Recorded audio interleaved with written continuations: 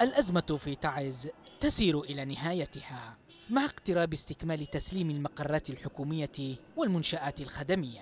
قبل هذه الخطوات الكثير من التجاذبات والمراوحات حدثت لكنها أفضت في الأخير إلى بداية حقيقية للتسوية. عدة اجتماعات وتوقيع اتفاقات جرت خلال اليومين الماضيين ولعل في ذلك كلمة السر وفكرة الدولة برئاسة محافظ المحافظة أمين محمود. الذي ترأس عددا من اللقاءات المتواصلة بين مختلف القيادات العسكرية على ضوئها تجري التفاهمات وتوقيع الاتفاقات. نحو 21 مقرا كانت تسيطر عليها جماعة أبو العباس وهو فصيل من المقاومة جرى لاحقا استيعابه ضمن الجيش الوطني. وسلمت الجماعة المباني في المربع الأمني بقلب المدينة كمرحلة أولية.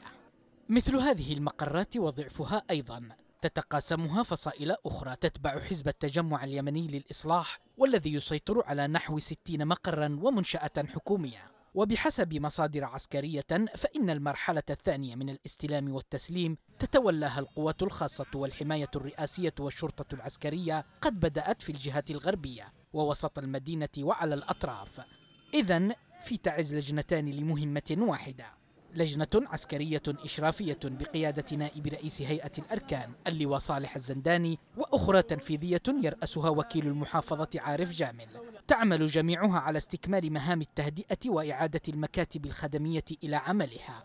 لكن هل كان ثمة ما يستدعي كل هذه التحركات؟ ربما.